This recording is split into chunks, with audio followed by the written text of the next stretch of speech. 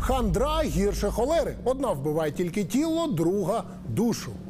Так писав великий класик Олександр Пушкін, і його висловлювання сьогодні дуже на часі, адже карантин та страх захворіти цілком можна назвати масовим психозом. А життя в чотирьох стінах у самоізоляції навряд чи додає людям здоров'я.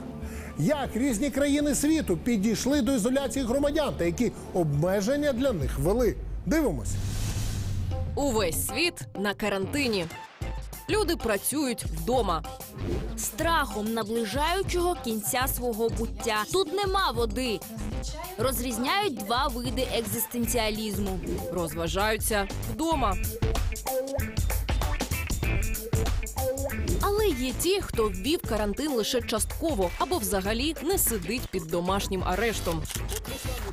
Ось ми з вами були на фермі. Скажіть, як віддалено доїти корів? Ось, наприклад, Білорусь вважає пандемію коронавірусу психозом та проводить масові зібрання та футбольні турніри. Немає тут вірусів ніяких. Шведам достатньо вимити руки. В Амстердамі просто тримають дистанцію. Приховані смерті та коронавірусний трилер лише по телебаченню. Чому в Білорусі немає карантину? І як Лукашенко вже поборов смертельний вірус? Таємні випробування, що знають, і чому насправді шведи не дотримуються карантину. І чи вдасться обманути підступний вірус Амстердаму? Дивіться, ексклюзив тільки у секретних матеріалах. Більше 70 тисяч смертей на планеті, а в Білорусі просто психоз. Ми будемо розпоряджатися своїм життям, але як держава ми робимо все, щоб захистити. Захищає держава працюючими торгівельними центрами, базарами, театрами. А коронавірусні зведення в новинах короткі і лише після сюжетів про весняну оранку. Рахувати зубрів в білоруській пущі будуть за допомогою квадрокоптера. Поки вірусологи всього світу мудрують над препаратом від смертельного вірусу, президент всія Білорусі вже давно винайшов чудодійну мікстуру. Якщо з сауни вийти і помити не лише руки, а й всередину 100 грам. Дивно, що цей рецепт не допоміг тим 13 померлим громадянам країни, чиї імена навіть не розголошують. А тут ще й цілий прецедент. Син однієї з померлих від коронавірусу хоче судитися з Лукашенком за його бездіяльність. Пишуть такі ж петиції і інші громадяни. У нас є петиції, щоб був введений карантин. Є багато громадських звернень, які можуть вплинути на ситуацію. Але в нас поки не відмінено навіть парад на 9 травня. Офіційно в Білорусі в хворих трохи більше 300.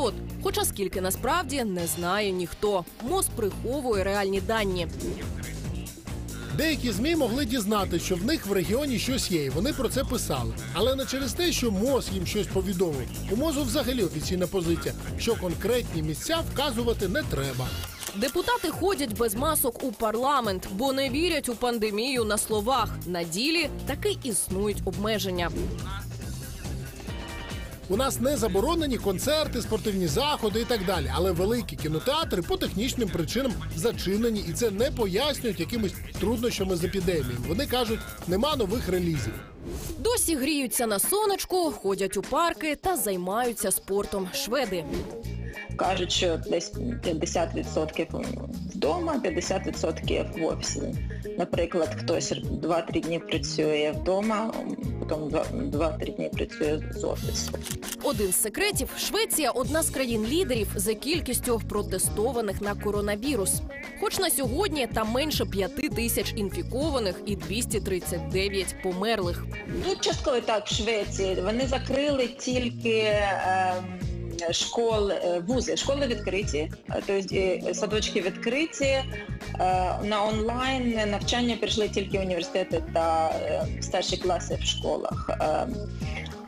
Працюють люди також, як працювали. Я Люди довіряють владі, тому і без обмежень слухають рекомендації, читають сайти мозу та приймають виважені рішення. в гості не ходимо, нікого до себе не звемо.